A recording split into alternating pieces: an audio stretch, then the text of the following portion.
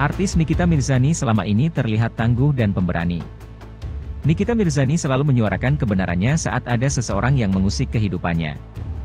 Di balik sikap tangguh dan pemberaninya itu, Nikita Mirzani ternyata memiliki suatu ketakutan tersendiri. Hal tersebut diungkapkan oleh sahabatnya, Fitri Salhuteru saat hadir dalam podcast Melanie Ricardo. Yang dia takuti kalau orang berbuat curang sama dia, ujar Fitri Salhuteru dikutip dalam kanal YouTube Melanie Ricardo, Jumat, 22 Juli 2022. Nikita Mirzani takut dicurangi dalam urusan pribadi maupun pekerjaannya di dunia hiburan.